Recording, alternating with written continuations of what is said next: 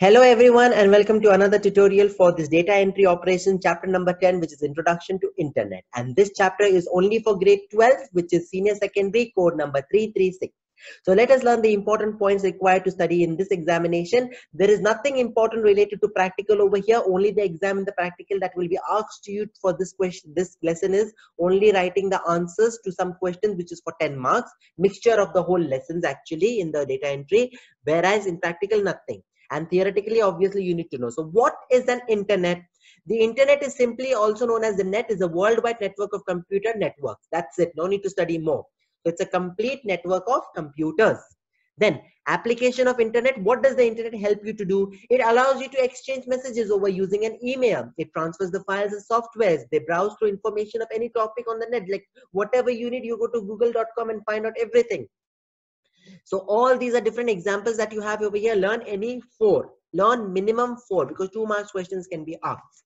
Now, how do you get an internet connection on your computer? You can get an internet connection on your computer either by contacting the service provider, the internet service provider, which is ISP. So internet service providers are the people like Telenor, you have Vodafone, Airtel, all these people are the ones who are going to get you this thing. Then Now, some another important thing is now you get an internet connection and basically what are the following types of internet connection? These three points you can make it short and study through dial-up connection, through leased line or through broadband. These are three ways through which you can get. No need to study more definition about it. Just these three words are important. Then types of internet connection that we have are dial-up, ISDN, leased line and DSL. Now let us learn one by one what is it. A dial-up connection is the connection in which the internet service provider, whoever it is, who is providing you the internet service, gives you a phone number. Now, you by using that particular phone number, by, uh, by dialing it, you actually get an internet connection on your system. This is very simple. Nothing need to be learned more. An ISDN, which is Integrated Service Digital Network, is nothing but a same like as dial-up connection in which you use actually the telephone lines. So basically you have a telephone set its wire is removed and put into your laptop or into your computer and the internet switches on like that.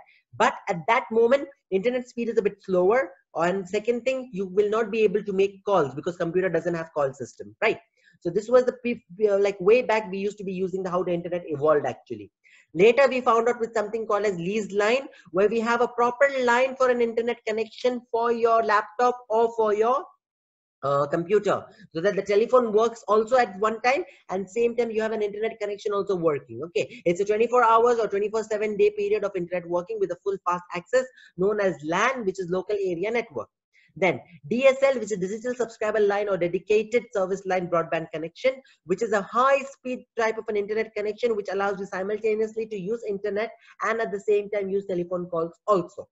Now how does the internet system works basically we all know it's a network of computers which are present over here. So basically because of this network of computers what happens is that the web page when transferred over the internet or when you ask for any queries or anything inside internet the of the information is broken down into same sized pieces called packets when it is broken into small pieces and packets and then sent over all over the world through different networks of computer a header is added to each packet. It's just like you have a big food and you take the food into small small packets seal it and put a label. So like that it is labeling and done and sent. From one computer to another one computer to another till it reaches a proper destination.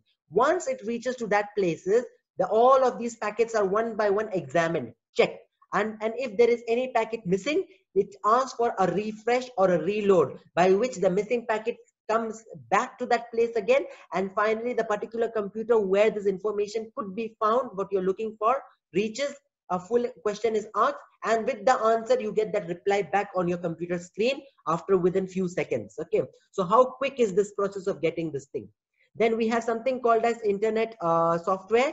The internet has a software called transmission control protocol or internet protocol which is responsible for receiving and sending and checking the packets. It is also known as the glue of the internet. Now, some frequently uh, terms which are used in internet are www, which is World Wide Web, a web server, hyperlink, HTML, web page, and then website or URL. All these you just need to learn one one line of definition for each. What's a World Wide Web? Simply known as collection of electronic documents. That's it. Web server is the computer that stores the web pages. Hyperlink is nothing but the element of electronic document that links another place in the same document. HTML, it's a language that consists of certain keywords called tags. Web page, a web page such as the one which you're looking right now, it's a web page, for example. And then a website is a website where you have all type of information related to a particular company or anything. And a custom uniform resource locator, which is URL, is every page of the website has a unique address. That unique address is known as URL. Just like, for example, if we have learnthenet.com. So learnthenet.com is called the domain name. HTTP is the hypertext transfer. English and glossary is the directory and URL is the file name. Now, the internet IP address, every every internet connection has an IP address. An IP address is just the address where it is internet is located, and that is in the form of three digit numbers. An example is such. A domain name is the unique name given to every website so that you know how to recognize it. Now, understanding the internet address, if we have the NIOS website, which is www.nios.com or .in, uh, so here you have www as the worldwide, NIOS as the host computer or the domain name, AC refers to academic and in the country of location, which is India. Similarly, we have other organizational domain and the purpose like AC stands for academic, com, commercial entities, EDU, education, gov for government, and so on. Geography, according to some websites, they have an ending like in India, JP like Japan, US like United States, etc. Now, what is a browser? A web browser. A web browser is nothing but a software or a program that allows you to access internet. So Google Chrome, Firefox, Internet Explorer, all these are examples of a browser where you can access to different types of web pages.